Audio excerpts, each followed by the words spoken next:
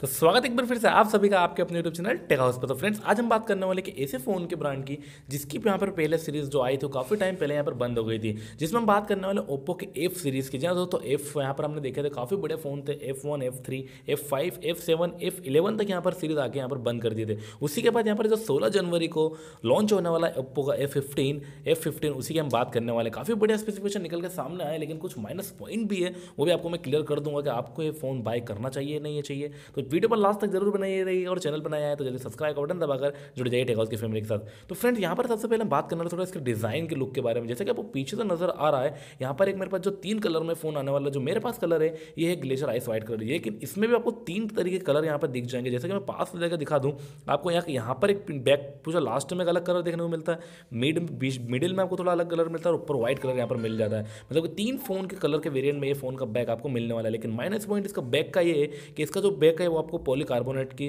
Material के साथ मिलता है। मतलब ग्लास प्रोडक्ट की बॉडी आपको यहाँ पर नहीं मिलती। लेकिन फ्रंट में इसी का फ़ायदा यह है कि 6.4 इंच की डिस्प्ले के साथ आपको एक यहाँ पर सुपर एमोल्ड पैनल रेजोल्यूशन देखने को मिल जाएगा। और पीछे का डिज़ाइन की थोड़ी सी और मैं बात करूँ तो यहाँ पर जो इसका बम्प होल है, जो कैमरा क्वालिटी का आपको क्वाड कैमरा का सेटअप मिलने वाला है, लेकिन जो इसका बम्प है वो काफ़ी ज़्यादा उठा हुआ है। जैसा कि नोट रेडमी नोट एट के फ़ोन में हमने देखा था, यही माइनस पॉइंट था उसके भी डिज़ाइन का इसके अंदर जो बम था इससे आपके स्क्रैच के चांस काफ़ी फ़ोन पर हद तक बढ़ जाते हैं। तो इसको हमेशा आपको बैक कवर लगा के रखना ही पड़ेगा। और अगर मैं साइड की बात करूँ तो यहाँ पर आपको एक पावर ऑन ऑफ़ बटन मिल जाता है और बाकी नीचे की तरफ़ आपको एक टाइप सी पोर्ट मिलने वाला है और साथ ही साथ स्पीकर भी मिल जाते हैं नीचे की तरफ़। एक स्पीकर यहाँ पर साइड में मिलता है और इधर आपको हेडफोन जेक मिल जाती है थ्री पॉइंट फाइव एम की और नीचे की तरफ़ आपका माइक्रोफोन भी मिलने, देखने को मिल जाएगा। मतलब काफ़ी बढ़िया यहाँ पर डिज़ाइन तो काफ़ी अच्छी खासी है और यहीं पर आपको साइड में ऊपर की ब्रांडिंग मिल जाती है।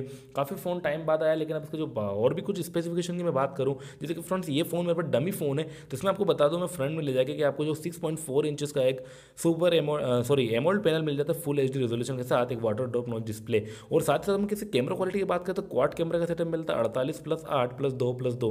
मतलब दो दो डेप सेंसर माइक्रो शॉट और अड़तालीस और आठ का एक प्राइमरी लेंस और एक वाइड एंगल शॉट भी यहाँ पर होने वाला है। काफ़ी बढ़िया फीचर्स आपको इस फ़ोन में देखने को मिल जाएँगे।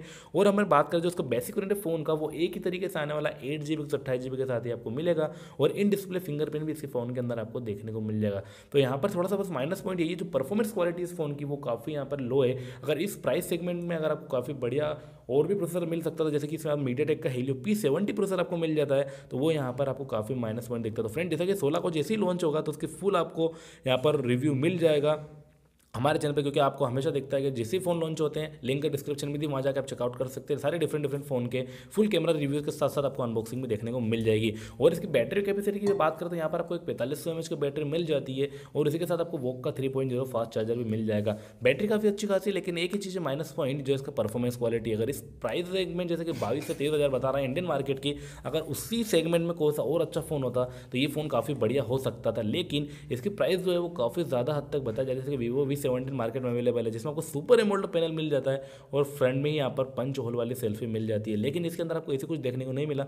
नॉर्मल से आपको वाटर ड्रॉप नोच के साथ आपको यहाँ पर सिंपल सा क्वाड कैमरा सेटअप मिल जाता है। तो फ्रेंड यहाँ पर ये मैं रिकमेंड यही करूँगा कि ये फ़ोन काफ़ी मतलब थोड़ा सा अच्छा नहीं है, अगर देखा जाए इस प्राइस सेगमेंट के हिसाब से, क्योंकि क्वाड कैमरा सेटअप तो हमें अधिकतर फ़ोन दस हज़ार के रेंज में भी देखने को मिल रहा है और साथ साथ बैटरी भी जो इसमें दी है, वो मिल जाती है। लेकिन यहाँ पर माइनस पॉइंट की परफॉर्मेंस थोड़ा और अच्छा होता तो काफ़ी फ़ोन बेटर हो सकता। तो फ्रेंड अगर वीडियो पसंद आई है तो वीडियो को लाइक ज़रूर करें और आपको अगर फ़ोन कैसा लगा, ये इसके स्पेसिफिकेशन कैसे लगे तो कमेंट सेक्शन में जाकर कमेंट कर ज़रूर बताना। और अभी तक चैनल को सब्सक्राइब नहीं किया तो सब्सक्राइब बटन दबाकर जुड़ जाइए टेक की फैमिली के साथ।